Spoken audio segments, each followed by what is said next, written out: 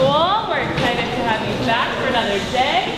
Let's get our morning started. I am who I am. Because of who you are. Since it is the last couple of days of October, which means it is the last couple of days of Hispanic Heritage Month, please take 30 seconds, to talk to two people right next to you, say buenos dias, and ask them cómo está. Ready? Go.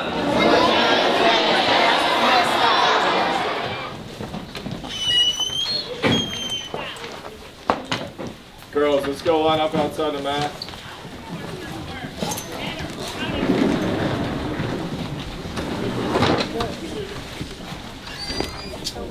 Not rolling.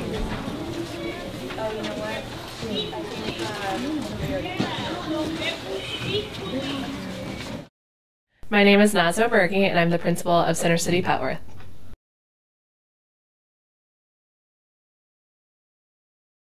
Our vision for our students here is that they will leave our school being lifelong learners, global citizens, advocates for change, and community leaders.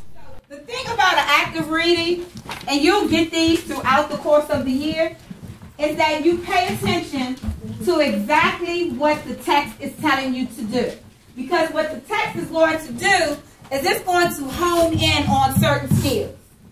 And so if you just read it and do the comprehension questions, then you're missing other important factors that you should be taking care of within the text that are going to sharpen your skills.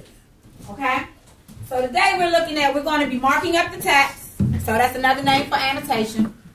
We're going to be making some inferences. We're going to have some um, parts where we stop and we do reflection. And we're going to have some analysis pieces. We started mine up here to show you. So A is a more interesting drawing, but B is a better mola design because it's simple. If I were making this into a mola, I'd have to cut out a ton of tiny little circles. It would take a lot of time. It'd be really complicated. The molas we've been looking at are very, very simple. The Kuna people know that they have to hand stitch every single line that they see. And so they make their designs real simple so that they are easier to make. All right, you may quietly get working. I'll be checking your progress as the class goes on. My name is Emily Feltmos. I teach middle school math, and so that's sixth, seventh, and eighth grade. So this is my first year as a teacher here and in general. I think this school is unique because it's so small and we really are a family. We all support each other because we all know each other. I know grandparents, parents, kids, their little sisters, their cousins. And so it's not weird to have different family members coming in and out of my classroom all day long for various reasons. Um, so we really are like a family here.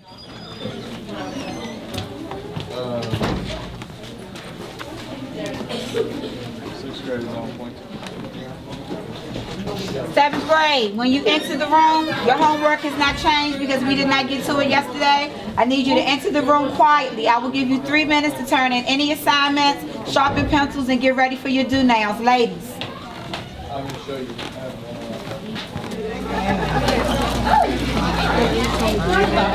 I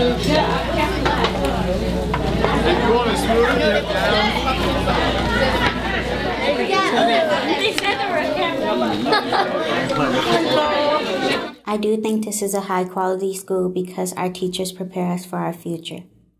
My name is Kate Asonia. My, I have two children attend in the school, um, seventh grade and fifth grade. I feel this is a high quality school because I understand that the teachers here, they are all qualified and I understand that time to time they go for trainings to upgrade their qualification that will help um, them to teach the children. Next one.